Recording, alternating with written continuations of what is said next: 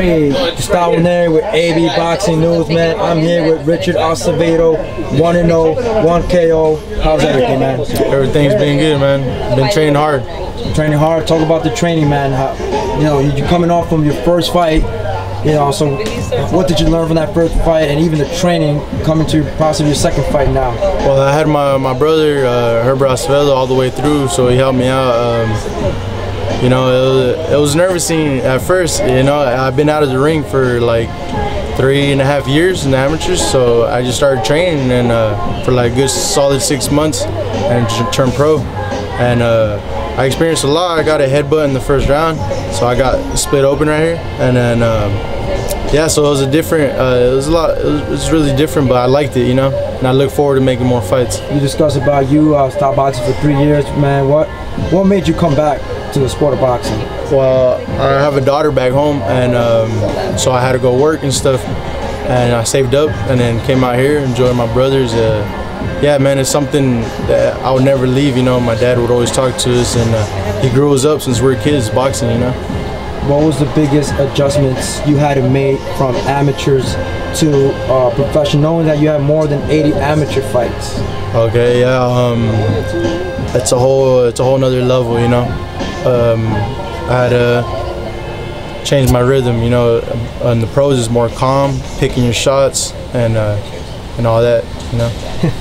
and what about your brothers, man? You guys are all pros, man. Do you guys ever like argue like who's the better one of the brothers? Nah, never, man. Never, not even once. Nah. Since all all of you guys turning pros, you guys don't even spar each other. No, no real. Oh yeah, me and my older brother spar. And who wins? Who, who's winning those sparring between uh, We work with each other, man. Oh, all, there's no. Well, I've only been dropped one time, or uh, one time in my life, and then that was by him. And that was when I was younger. Uh, wow. I was like uh, 13, 14 at the time. Wow. Yeah. And talking about the weight, uh, the division fighting, you, you, discussed that you know you're gonna have some fights at welterweight and even yeah. junior middleweight, man. Um, yeah, I'm uh because uh, from uh, all those three years layoff, I was at like 185, so I dropped. I kept dropping weight, and then I made my debut at 150. So I'm adjusting my weight right now. So I'm gonna have a couple fights at 150 and move 147. Let's talk about some upcoming fights, man.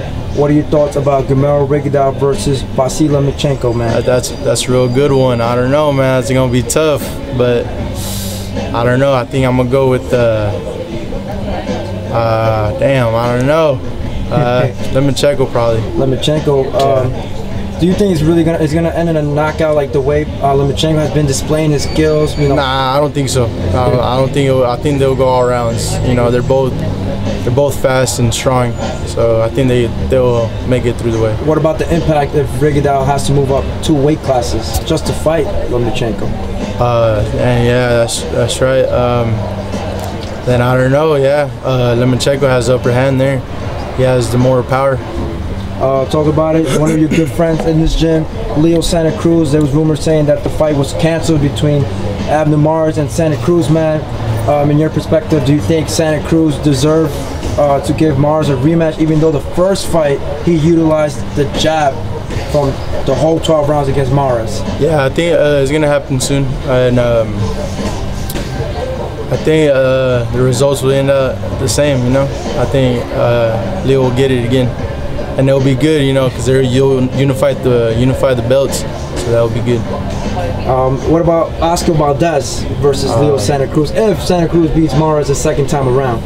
Yeah, I like I like uh, Oscar Valdez, man. He's solid, but uh, I think he uh, he has still has a lot to learn, and then. Um, uh, I think Leo, he's just uh, too experienced, you know, for him right now.